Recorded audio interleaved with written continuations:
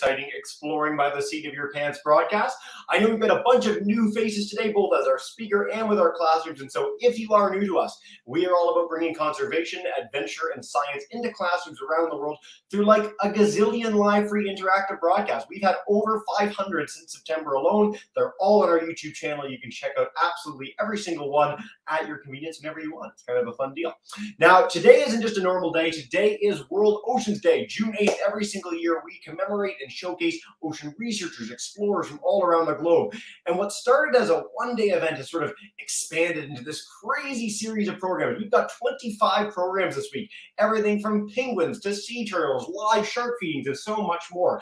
But today, this specific program is uh, our, our sort of centerpiece of our Ocean Week Canada series. Now, across Canada, there's a major Canadian Ocean Literacy Coalition that works with all sorts of organizations, coast to coast to coast, to bring together hundreds of live programs, virtual programs, learning resources, and so much more. And so I really encourage all of you to check out oceanweekcan.ca to learn more, keep the excitement going, and feel connected to the sea no matter where you're joining from in Canada or around the world. Now, Today, I have a very exciting topic with our, our, speaker. We are joined live by Neha Acharya Patel, and she is going to talk to us today about eDNA. Now, I am a tremendous science nerd. I love everything science. I love everything space and nature and so, so much more. And I must say, one of my very favorite things I've ever learned about, especially in the last 10 years, is this concept of eDNA. What on earth is eDNA? We're going to find out together and how Neha uses it to understand more about the health of our oceans. So, without further ado, I'm going to bring you into the broadcast, turn it over to you, and you can explain to us a little bit about this really cool science you're up to. So, welcome in for Oceans uh, Day. So nice to have you here. Hi, thank you so much, Jesse. I'm really excited to be here today. Awesome. Well, feel free to dive in with the presentation. We've got groups joining us on YouTube and Seminar. We've got our Truro Middle School crew live with us in StreamYard, uh, and we'll get underway for our, our Q&A later. Okay, great. So I'll just uh, start sharing then. Beautiful. All right. Great. So I'm just assuming you guys are seeing. Yep, you're good to go. You're perfect. okay, great. Well, um, I just want to say hi. So, everybody, I'm Neha Acharya Patel, as Jesse nicely introduced me. Um, and today I'm going to be talking about a little bit about myself, um, my career as a little explorer, and then I'm going to be talking about my research. So, where we can use some really cool molecular tools to uh, see the invisible, essentially, to see things that we can't see with our own eyes um, in the oceans. I just want to start with my territorial acknowledgement. So I'm speaking to you today from Victoria, British Columbia, which is the traditional territory of the Lekwungen, WSÁNEĆ, Esquimalt, um, and Songhees peoples, whose traditional relationship to this land and to the oceans, of course, continue to this day. So, as Jesse said, it's World Oceans Day. So, happy World Oceans Day uh, to to wherever you're joining from. Um, and I'm so honored uh, that I get to talk to you today on this very special day. So, I'm going to talk to you a little bit first about who I am. So I'm sure as you guys grow older, you'll realize there's a lot of different descriptors that you have to describe yourselves. But for me, the most important one is I'm a really passionate ocean advocate. So I've dedicated my life sort of to the protection and the understanding of our oceans.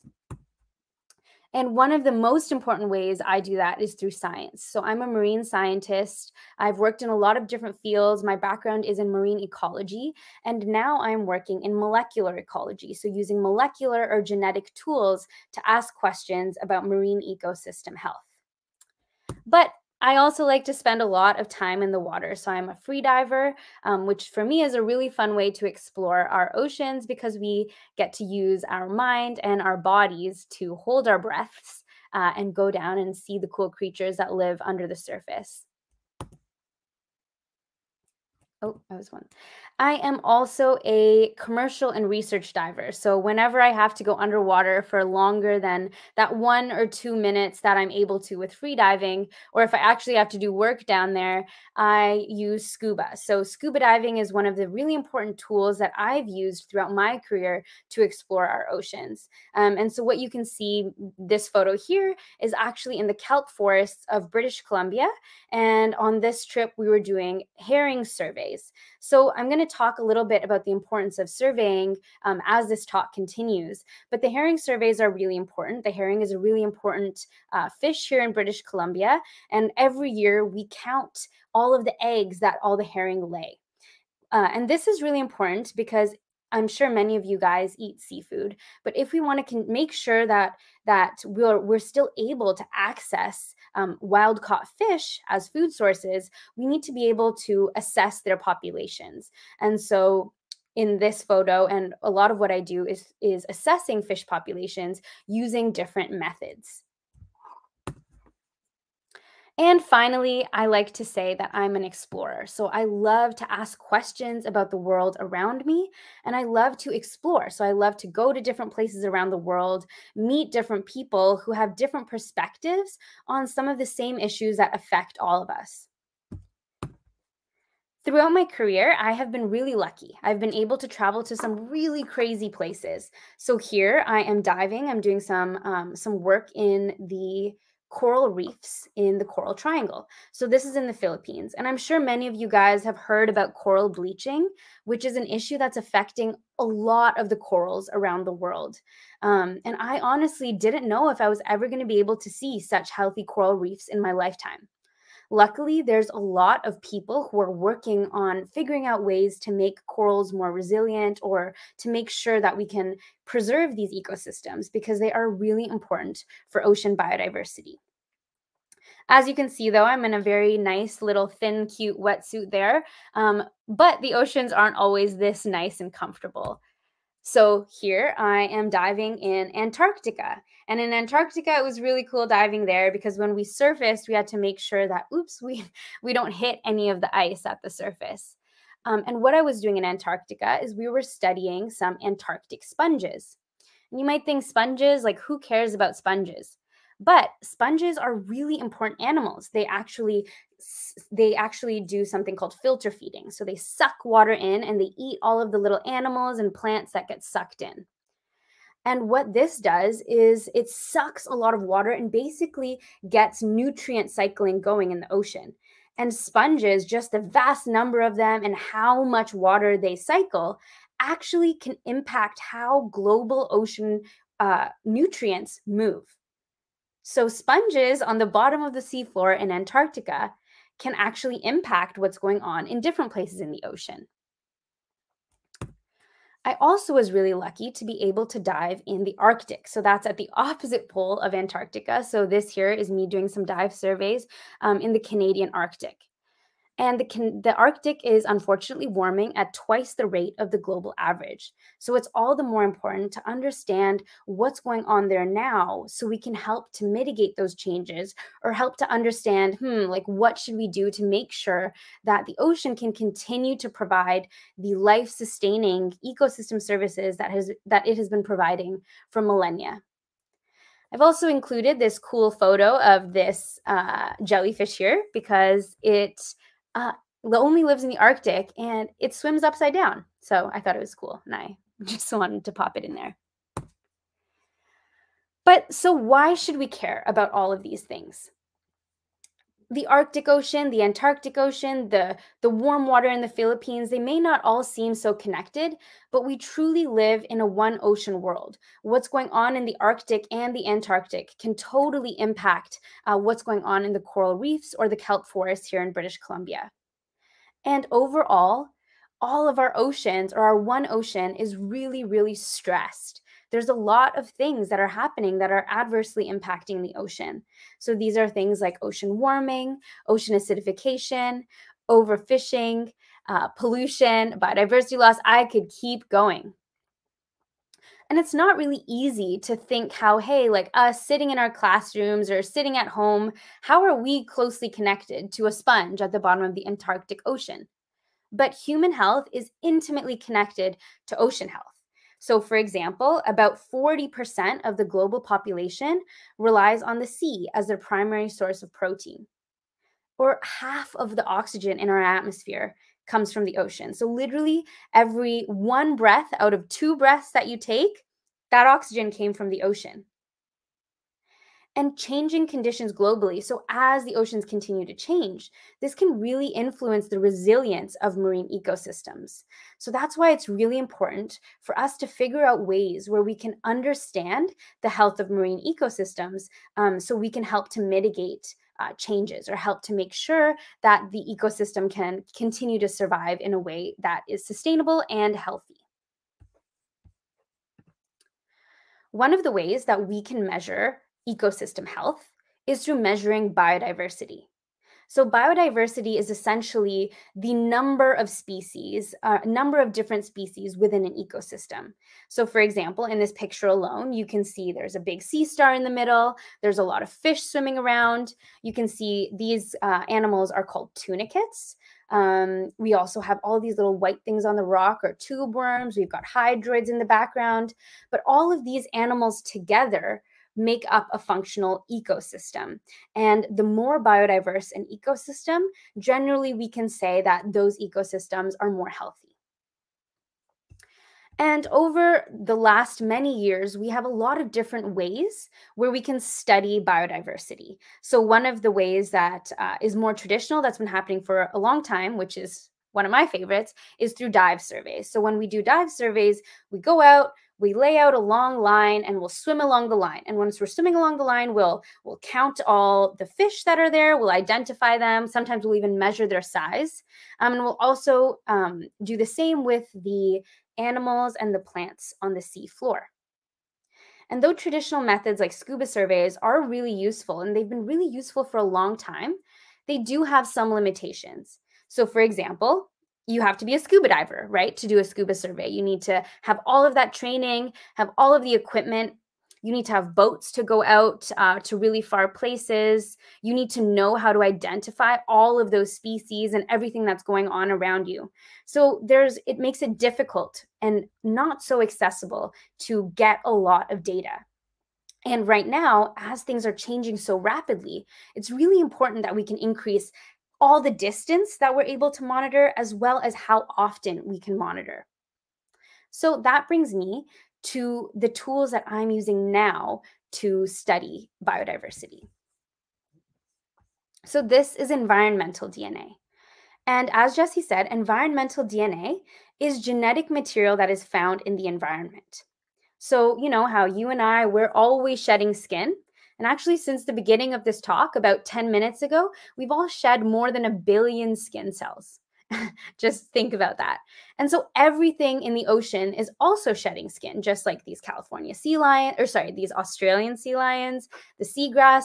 All of the living organisms are constantly shedding little bits and pieces of DNA into the ocean.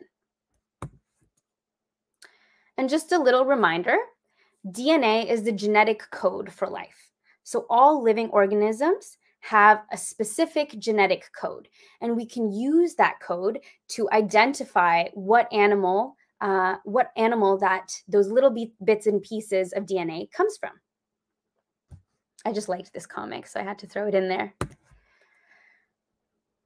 so my research is focused on using environmental DNA to assess ecosystem health.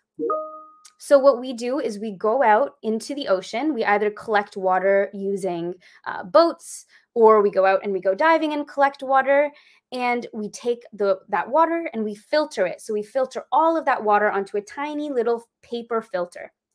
We can then extract the DNA from that filter and then use the DNA to ask important questions about the ecosystem. So we can ask questions like, "Hey, what species are here? We could ask how many fish or how many of this certain animal that we care about is here. We can also ask questions like Are there rare, important, or even invasive species here? So it's a really cool tool.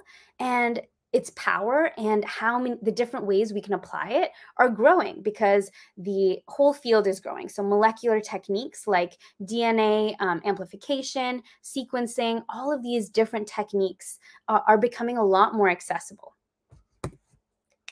So, my research here, I am out in the field, I'm collecting some eDNA samples um, underwater, are to first to see if we can develop eDNA tests to detect our species of interest.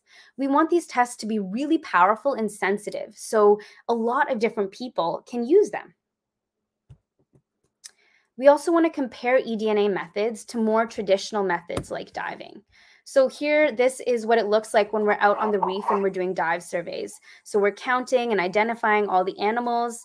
Um, you can see I have this big fancy camera that we can use to measure uh, fish size. But imagine you're a fish and you see this big person coming towards you. Sometimes you can hide. So I might miss a fish that's hiding. Or maybe you're a fish that lives a lot deeper. So sometimes um, with dive surveys, we miss important animals so that's where comparing dive surveys to eDNA surveys, we can get some really cool complementary data that's really useful to managers or to decision makers that decide um, decide on conservation areas or how many fish we can take the next year. Oops. Okay. We then want to be able to use these tests to estimate animal abundance. And abundance is a fundamental population parameter in ecology. So, like I said before, if we want to be able to manage a population, we need to know how many there are. And if we can use just a scoop of water to estimate an entire population, that is really, really exciting. And finally, we want to make these techniques useful for community based monitoring. So, we want it to be that you don't have to be a scientist or a diver to go out and collect seawater. We want it so that maybe even one day you guys can go out with your teachers out into the field and collect seawater and then send us the water. This is really important because, like I said, then it can increase the, the area and the frequency with which we can monitor. So I'm just going to finish my talk with a couple of the animals that we're actually working with and a little bit of some cool data so, one of the animals that I'm focused on is called the yellow eye rockfish. And this fish is really cool for a lot of reasons. First of all, it can live to up to 200 years. So, I don't know if you guys knew that fish can live that, that long, but these fish uh, can live over 200 years, which is way longer than how than than humans, obviously. It is also a really culturally important fish to the First Nations on the central coast of British Columbia. So this has been a really important food source for First Nations for uh, over a thousand years. And unfortunately, it has been overfished over the last decade or so. So now it is listed um, under the Species at Risk Act and it is also an indicator species. And indicator species are really cool because they give us broader information about the ecosystem. So if we know that the yellow eye rockfish is somewhere, we can kind of extrapolate and say that okay, this ecosystem is probably doing well because this it's it's it's supporting the yellow eye rockfish. And also, the yellow eye rockfish lives deeper than most divers can reach. And so this makes it a really good candidate for eDNA monitoring. Another animal that we're looking at is the Olympia oyster. I don't know if you guys like oysters. Some people really hate them, but the Olympia oyster was actually overfished in the 1950s. So we almost fished it into extinction. And so in the 1950s, it was listed under the Species at Risk Act as a species of special concern. And um, what we want to do is we want to see if we can detect where it is and if we can estimate abundance. So how many uh, how many oysters there are. And so last year we went and we did a really cool experiment and we went out to places where we know that there's a lot of Olympia oysters, so high density sites. We went to some sites where there we knew there was some oysters, but not that many. And then we went to a site where we knew there was no Olympia oysters. And then we took three uh, water samples and we tested it with our eDNA test. And luckily, we uh, were able to do what we wanted to do. We could see we could detect our our target species and we could also look at how many of our target species there are. So this is really cool. This is super exciting and it can be used to manage uh, the harvesting and how we uh, we maintain protected areas for this important species. So I think I've talked about why this is important a lot, but I'm going to talk about it one more time. So, we do need easier, cheaper, and more accessible ways to monitor ocean biodiversity. And as these molecular tools become more powerful, this is a really cool way with a lot of potential. And as the oceans continue to change, we do need more people like you guys, hopefully, involved in sustainable ocean careers. So, right now, it's the start of the UN Ocean Decade. And so, for the next 10 years, there's going to be lots and lots of cool stuff happening in the oceans that hopefully I've maybe inspired some of you guys to, to maybe get interested in. And finally, I want to end by saying we're all connected to the ocean. It is sometimes easy to forget that us on land, maybe inland if you're from Ontario or, or the prairies, that we're all really, really closely connected to the ocean. So I challenge you this week to maybe think of a way where you can help the ocean. So maybe you can look up a cool animal or look up something cool about the oceans that you didn't know before, or pick up some trash or something like that. But I just really want us all to remember that we are all really, really connected to the ocean and we all need it for our lives. So, with that, I want to say thank you so much to Exploring by the Seat of Your Pants um, for inviting me today to talk and also to all the organizers for Ocean Weeks Canada, uh, like the Canadian Ocean Literacy Coalition. I'm super, super excited that I was able to talk to you about my research today. So um, I'd like to end just uh, with my, uh, with if you guys have any questions. Thank you. Fantastic! What a great picture to end on too with you and the penguins. I just love it. Um, but yeah, let's dive in with Q and A, folks on YouTube. If you guys want to share in the chat, please do. Truro Middle School will come to you guys in a second. I'll give you a minute to put the thinking caps on. But I'm really curious. A question that we inevitably get with divers that have been all over the world, and it's a really hard one. Is there a favorite place you have to dive, or are there like too many to possibly count? I'm really curious. Um, there are so many amazing places. Um, and I think my answers changed over time. Hmm. But I find that I there's a very once you become a cold water diver, yeah. you find a really unique and amazing beauty in the cold water. And I am very biased towards the kelp forest of British Columbia here in Canada. So that's probably my answer. On this note, so we have um, regularly on the program Jill Heinerth. She's like the world's leading cave diver. She's gone all over the world. She's done some amazing things. And when we ask her this question, BC's coast, like British Columbia's coast, is one of the most universally picked places as the best place to dive on the planet, which is wild to me and very, very cool. So I'm so glad that's your pick. Um, I want to know too. Actually, I'm curious. Um, at what age did you start scuba diving? I keep asking this of all of our Ocean Week speakers. I'm curious. So I actually started scuba diving when I, I got my license when I was 15 with my dad, and I'm from Ontario. And so we went out in the lake in Ontario, and it wasn't that exciting to be honest. Um, and then I didn't really dive again until I came out to university in Vancouver. And then as soon as I went in the ocean, I was like, ah, this is so cool. And then I never stopped. I, I, was even worse than you. I was in a quarry with like literally nothing in it, like an empty quarry that had just been like filled with water. Uh, but I do want to note our entire audience today. I know we've got a lot of grade sevens and eights. You guys are already well past the age that you can start scuba diving. And for really young kids, I know we have some throughout Oceans Week. A PADI bubble maker. At eight years old, you can start in the path to becoming a scuba diver, and it's like black magic. You can breathe underwater. It's amazing. It opens up 70% of the world to you, uh, and you can whether you end up quite as adventurous as they are or not, uh, it's just a, really magical way of exploring the natural world. So I'm so glad we mentioned that. Let's head to our Truro Middle School friends, about as far across the country as we can be from you there in Victoria. If you guys have a question for us uh, in Nova Scotia, oh, hi, yes, you are on camera. I know. It's very exciting. Do do we have any questions? Because we both, myself and Jesse, both know that I always have questions. Always. Oh, Virgil, uh, we have one question. Virgil, what's your question? Um, I was wrestling. how, how far can you tell, like, like the eDNA test? How far can you tell from just one test? Yeah. So, like, how far can you tell where, like, the, the animal's been there, or is that the idea? Like how, like, for example, how like far an animal is away? One like sample yeah, yeah, yeah. So, like, how sensitive is the test? And I, I love this. There's many versions of this question, but like, what can you detect? How much of something has there to be for you to know that it's there? That's a really, really good question. And it's actually a really hard question. And a lot of scientists are working on that.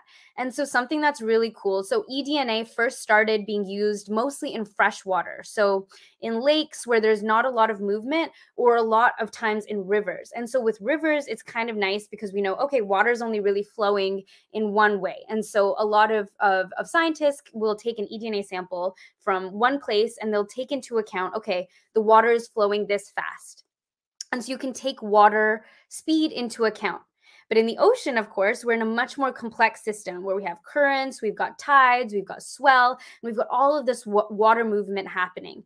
And so, actually, that's a really, really important question.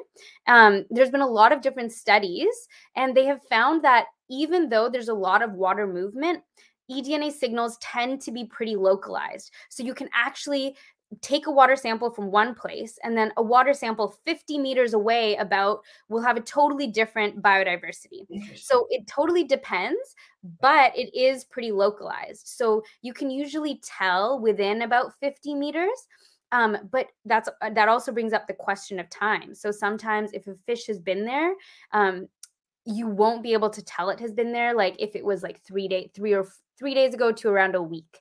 Um, but again, that also can depend on what animal it is. There's a lot of different factors. Yeah. But that's a really good question that that scientists are thinking about. It is, but I love the idea that it's fairly local because I'd always wondered this about eDNA. If there's a shark that's like 20 kilometers down the bay and uh, you know the water flows, you're not going to get a big enough sample to know, oh, okay, that shark was here. You're not going to get something that's glaringly wrong because of how ocean currents operate, which is very, very neat. Okay. Um, True, I'll give you guys a little more time if you have any other questions. Oh, you do have another question. We'll come right back then. I love it. You're live with us. Go for it. All right, go ahead, Lily. Um, I was wondering how accurately you can detect how many of a certain species there are. Yeah. How do you accurately tell how many of a certain species there are? So, like, how do you know there's a hundred of something versus two of something? What's the signal? You guys are asking really good questions. I was like trying to see how how complex should I go, and I I obviously should have gone a little more complex. So um, what what we do is we use a tool called qPCR, which is the same tool actually that I'm sure you guys have all heard with, with to to to do COVID tests. And what it essentially does is say that we have say that there was two copies of DNA in our starting sample, um, that that DNA gets amplified a bunch. And so essentially what we can do is we can correlate the strength of the amplification signal to the starting copy number. And so then what we do is we can uh, use different models essentially. So we can go out and we we have to collect baseline data, and so then we can fi finally establish a relationship between our qPCR result and the starting number of animals. And so there's a lot of like modeling in between, but it's essentially linking copy number of DNA fragment to animal number in the environment.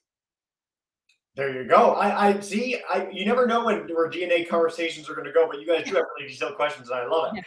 I'm really curious if in this approach we've ever discovered any novel species. Now we're still in the early days of getting DNA sort of knowledge of every creature on the planet. We're nowhere near that yet. But have we ever picked up a signal where like we have no idea what that is that like seems like something we know but not quite or not yet? So that's a really good question. But um, so one of the cool things you can do if you're trying to characterize whole community biodiversity is this thing called barcoding, right? So you know if you go to the grocery store and you uh, scan the barcode of a chocolate chip cookie, it's going to come up like that and so there's some regions of the genome or the mitochondrial genome that are kind of like a barcode. And so you can scan that region and you're like, okay, that's this species. But to do that, you have to have a reference, right? So you have to have somebody had to go and take that animal, get that genetic information. And so you know that that is your barcode.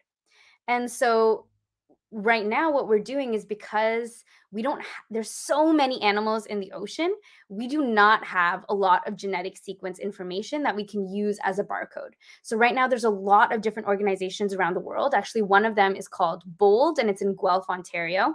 And yes. they are trying to build up a repository or library of all of these barcodes. And so then one day you, we will hopefully be able to have so many that maybe jesse one day that'll happen where we'll discover something that's that's unknown um, very very cool. Uh, guelph gets mentioned a lot when it comes to cool dna stuff. I'm bringing up the site for the bold project right now so that everyone can have that uh, but it's really amazing science they're doing there and it's so exciting to do deep sea and, and ocean in general uh, sort of biodiversity sampling because it's one of those places like rainforest that every time we go with a scrutinizing eye, we find new species. Like literally every time you send a submersible down, you send a research team down, and you start looking for new things, you find them because there's so much left to be discovered. We have barely scratched the surface of the oceans, and it's such an exciting time to be in science.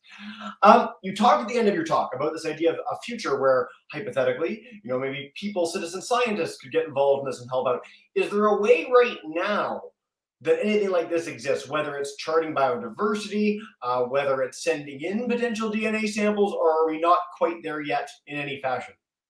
Well, so there's lots of citizen science initiatives. Um, eDNA specifically, there have been a couple of programs. So uh, there's a group here um, with uh, it, with DFO that's already started doing some citizen science stuff. Um, we are hopefully going to get to the point one of the things is we just need to make sure that it's a standardizable way that people are aren't contaminating the samples but there are a lot of organizations who are doing it uh, right now. There aren't any well established programs in canada so you, we're not at the point where you can get involved now but hopefully we will be will we will be there in the next couple years for sure very soon. Fingers crossed. In the meantime, one thing that we used for our backyard bio campaign in May, just as an encouragement for all our classes, the Seek and the iNaturalist apps are amazing. Like the coolest tools ever to come in citizen science if you want to learn more about local biodiversity and find what other people like you have discovered around the world. So very, very cool stuff. Mm-hmm. Um, yeah, we got some great questions coming from our Division 24 classroom in Salmon Arm, BC, right near you. Uh, so Ari asked, how do you stay warm enough when diving in cold water? That's a great question. Um, what we do, well, we use a dry suit first of all. So we're not using a wetsuit. So a dry suit basically has seals around your wrists and your neck. So the only part of you that's actually wet is your head and your face. Um, and then what you do is underneath your dry suit, you wear a lot of sweaters. And that's basically it. There are some really fancy divers who have these vests that are actually heated with the battery pack but those are really expensive and I'm not that fancy. So I just wear a lot of sweaters. Yeah. Uh, I like the between dry suit and wetsuit. Very few people take the time to delineate between those two, so I appreciate that. Um, okay, a couple more from Division 24, and then Truro, if you guys have more, we'll come back to you as well. Uh, Melissa asked, how does the DNA, eDNA stay intact in the water? Why does it not just break apart? You guys are asking such great questions. So actually, you're right my DNA does break apart in the water. So in our cells, we have our nucleus, and within our nucleus, we have our nuclear DNA. And that in, in one cell, there's one set of nuclear DNA. But also within one cell, we have the mitochondria. And the mitochondrial DNA, there's sometimes thousands of copies of mitochondrial DNA in one cell. And so what we do as scientists, we're like, okay, like nuclear DNA, there's not that much. It's probably breaking up quite a bit. Um, so what we do is we target mitochondrial DNA. And mitochondrial DNA exists in a circle. So it's a little less likely to break down. And because there's a lot of it but it still might break down. So what we do as well is we target regions that are only maybe 100 to 200 letters or base pairs long. Um, and the mitochondrial genome itself is like 16,000. So basically, we're hedging our bets and saying that, okay, like there's so many mitochondria, they're mm-hmm. probably breaking apart, but if we just re- target this 200 base pair region, it'll probably still be intact. Yeah, I love this, and and I mean, you have quashed all our dreams of Jurassic World. The Dominion coming out tomorrow, uh, the idea of having DNA last for millions and millions of years not happening, unfortunately. It's kind of sad. I wish we could get T Rex back, but alas, not in the kit cards. Uh, but again, I, I appreciate the, the, diving in with some of the science. And again, students, you guys are probably a few years away from this in, in actual school, but there's some really neat stuff and tons of popular science books on this, uh, resources online, so much, uh, so many ways to learn more about this. So I, I love the, that question. Truro, unmute your mic, come on back, and we'll take another uh, four from our, our YouTube groups. We're whipping through these guys. Come on back in, unmute your mic. There you go. Do we have any more questions? Oh, Ellie has a question. Just a second. No, you don't have a question? Oh, nope. I have a question. Um, what inspired you to go towards sciences? Yes. Uh, thanks for asking that. I I find I've always been a scientist. I think I was mind blown when I was pretty young when I realized that not everybody was as into the bugs and like didn't spend all their spare time in the swamps. So I've just always been like that. And I think um, if you are if you're one of those people that's asking questions about the world around you, you're probably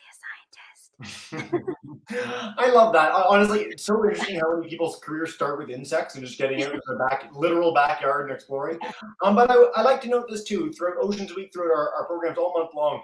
Um, if you're interested in the scientific enterprise, if you want to be on something like a dive research ship, you don't need to be a top scientist. Like you don't need to have the same academic background that Neha does. You can be a cook, you can be a pilot, you can be a, a technician, you can be someone who drives the boat.